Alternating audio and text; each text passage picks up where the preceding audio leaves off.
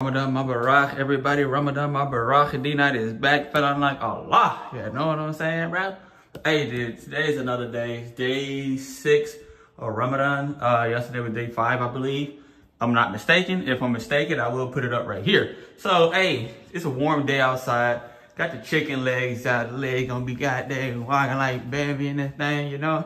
But hey, today today's gonna be me honestly talking about what Ramadan means for me uh, throughout the vlog. The vlog is literally going to be me talking about Ramadan in different settings uh, because I feel like I got a lot of things to say to other people out there who are Muslim and not the best Muslim or the ideal Muslim out there, you know. I feel like I can be something that can give you guys hope, give you guys, you know, little extra push to get become better, bro. Because I'm not a good person, honestly.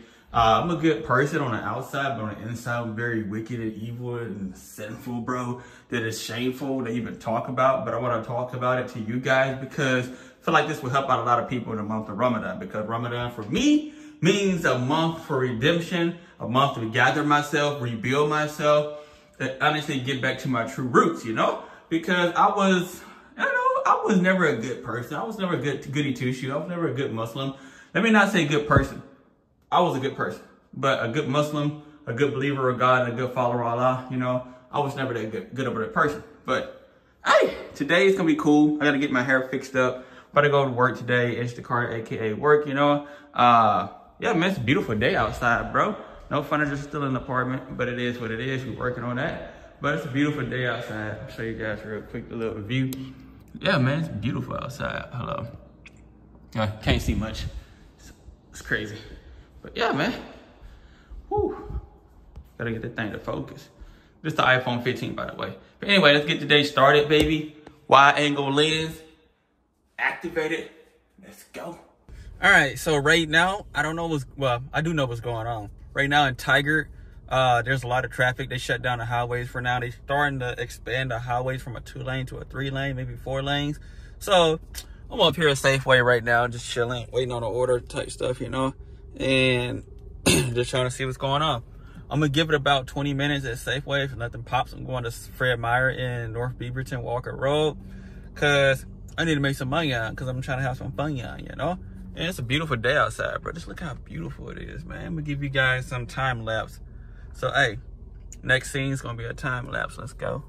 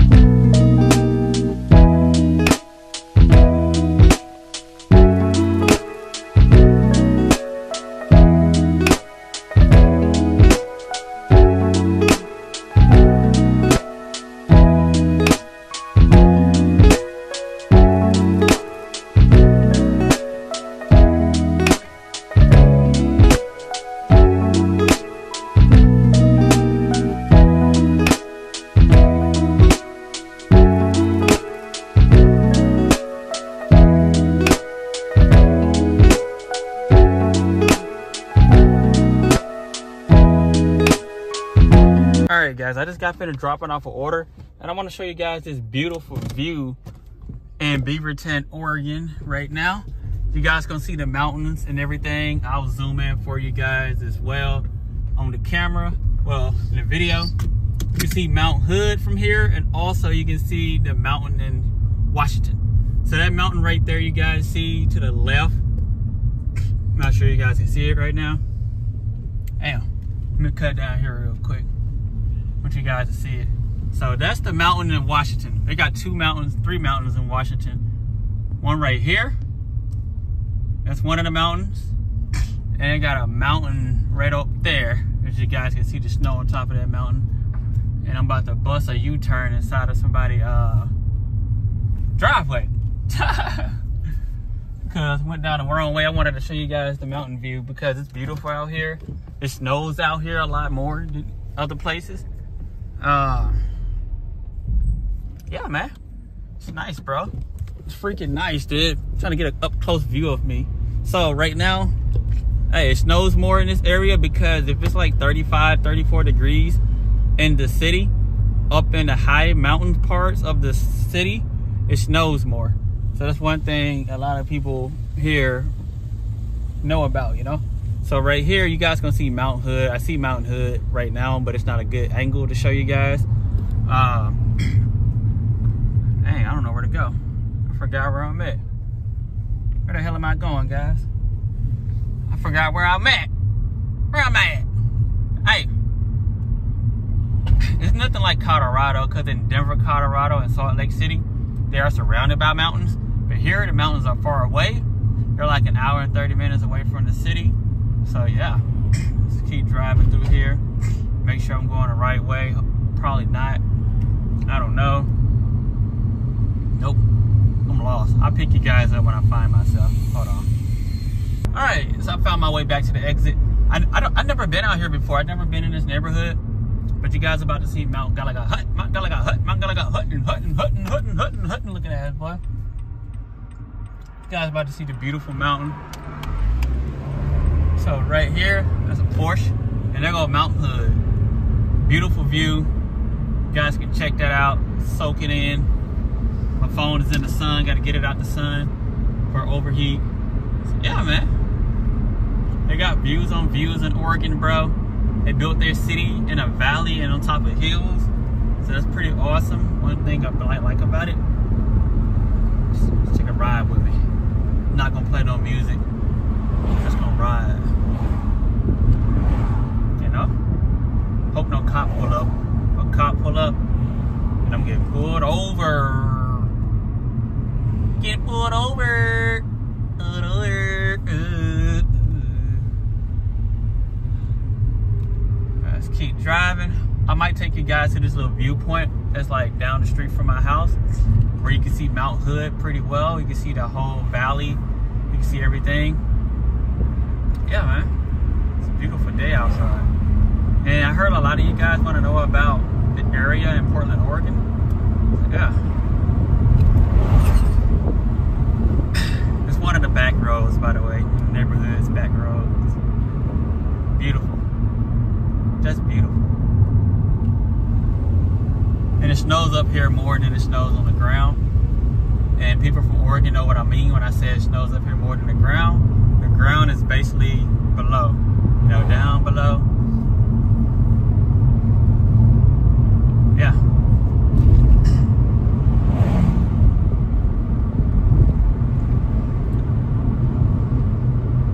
You guys about to see Mount Hood a little better from here. Hope so. I'm about to go down this big hill. Yep. I'm gonna zoom in for you guys. This car is on my ass.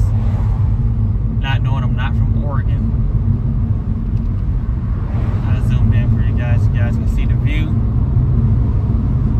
Just beautiful. I love Oregon, bro. I just wish they kept their, I wish they got their politicians and stuff correct and fixed. And the city would be great.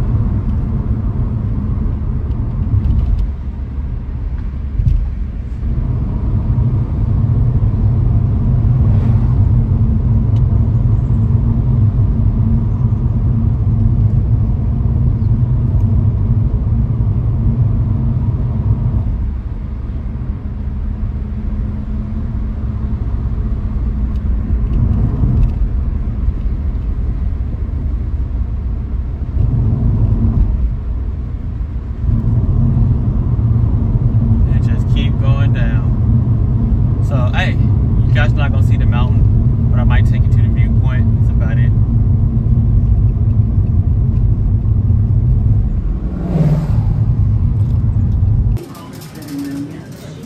Alright guys, I'm about to do some real Cajun Creole, Louisiana, Mississippi type stuff, you know, for uh, to break my fast in Ramadan. So I'm about to make a beef gumbo. I'm gonna get beef, chicken, sh- not shrimp, beef, chicken. I'm gonna get beef, chicken, uh, some sausages.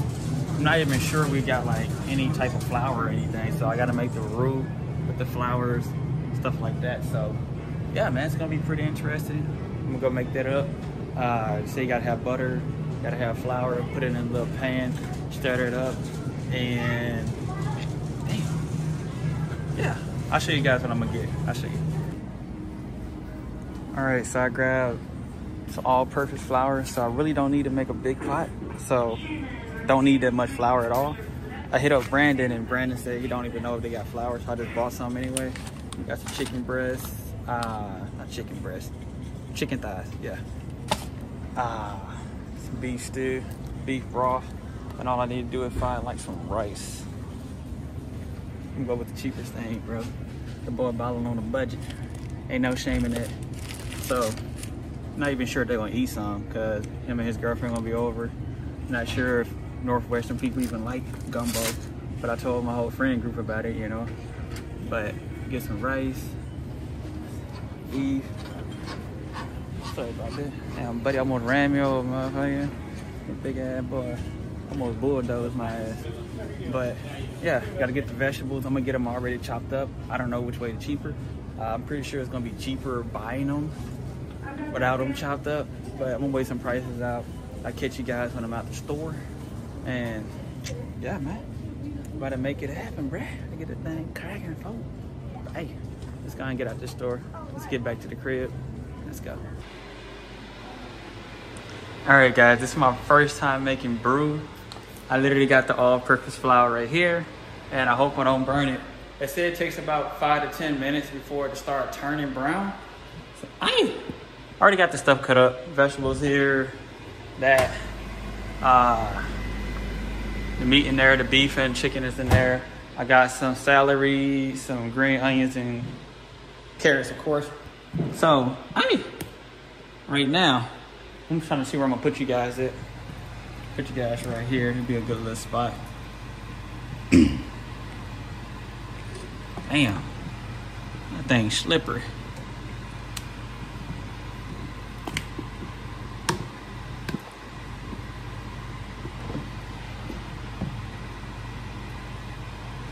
All right.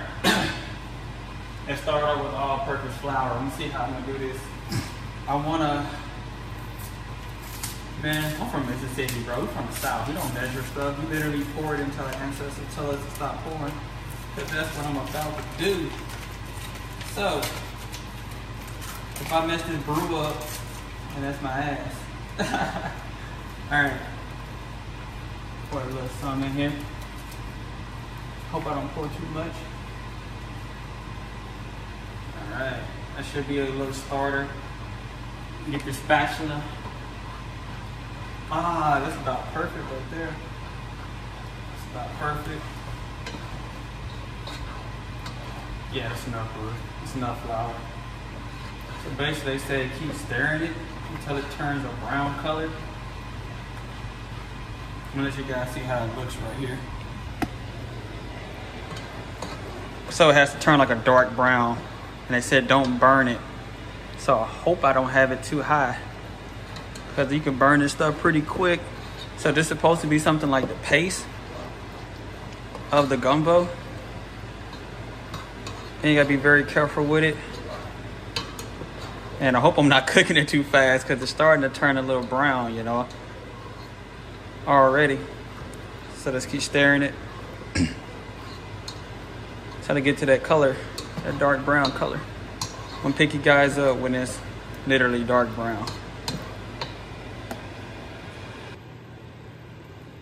All right, we're almost here, almost there.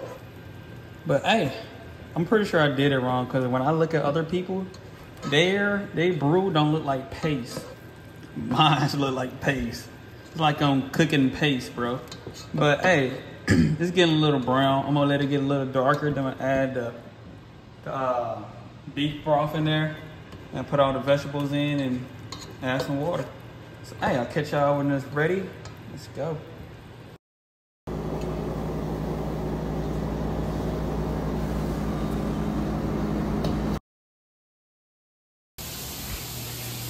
All right, night family. It is literally what about six days later. I think six days later. Uh, it is the 24th, so it's the 14th day of Ramadan, and hey, probably nine o'clock at night. Did a couple little workouts, you know, flex the physique type stuff like that. Your boy's still skinny. I'm working on it. But anyway, I hope you guys did finish up enjoyed today's video. If you did, thumbs it up, subscribe to the channel, want to see more videos from me, of course. I'm about to wash the hair. Uh, my hair is a mess. It's, it's freaking hella, like it's hella on the side, hella hair. But I'm about to rock it tomorrow. Really don't give a damn. Do what I do, you know. Anyway, love you guys. Ramadan Mubarak. I'm out. Peace.